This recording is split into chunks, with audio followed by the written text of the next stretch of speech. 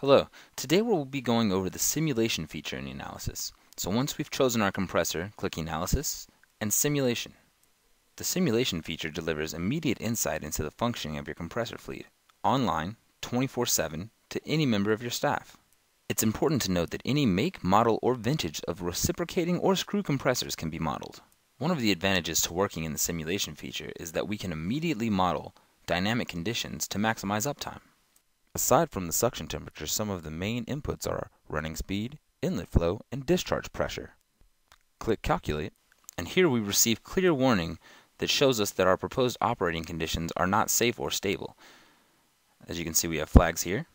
With this flag, the discharge temperature was over the maximum of 300 degrees. Another aspect of the simulation feature to pay close attention to is the key calculated information on the top right-hand side of your screen. I'd also like to point out how quickly and easily we can go from testing dynamic conditions to analysis reports and back. Simply click Analysis and then Analysis Reports. Proceed by clicking any of the analysis reports you've run recently. Here you can see we have a full analysis report, complete with flags. We have some gauge maintenance flags down there. Then we go back to Analysis, Simulation, and it'll take us back to the simulation feature working in the compressor that we were working in originally. Remember, we can switch between metric and imperial seamlessly here in the Enalysis simulation feature.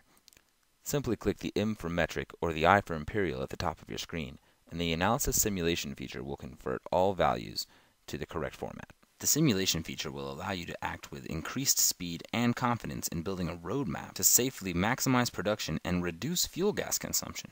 Aside from just getting instant answers on how your compressor will respond to dynamic and changing conditions, you can take full advantage of having your entire fleet of assets online, helping to model and deploy idle assets to new areas or projects with confidence that the production goals can be met. Remember, you have the ability to switch between diagnostic feedback and simulation all within the Enalysis environment.